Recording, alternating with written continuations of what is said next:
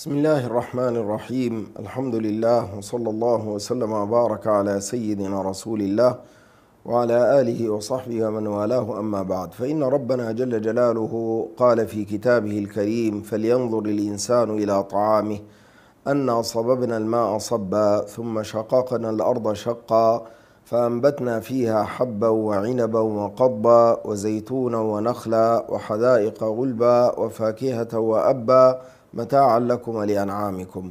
هذا الطعام نعمة من نعم الله عز وجل تنبت به أجسادنا وتتغذى منه أبداننا.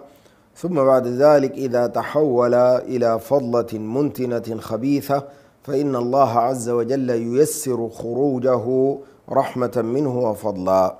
عن عائشة رضي الله عنها أن رسول الله صلى الله عليه وسلم كان إذا خرج من الخلاء قال غفرانك. نبينا عليه الصلاة والسلام كان إذا قضى حاجته يقول هذا الذكر من كلمة واحدة غفرانك أي يا رب أطلب مغفرتك. قال أهل العلم طلب المغفرة ها هنا من عدم القدرة. على مقابلة نعمة الله عز وجل بما تستحق من شكر. وقيل الاستغفار ها هنا من الحالة التي اقتضت هجران ذكر الله عز وجل. فإن الإنسان حال قضاء حاجته لا يذكر الله.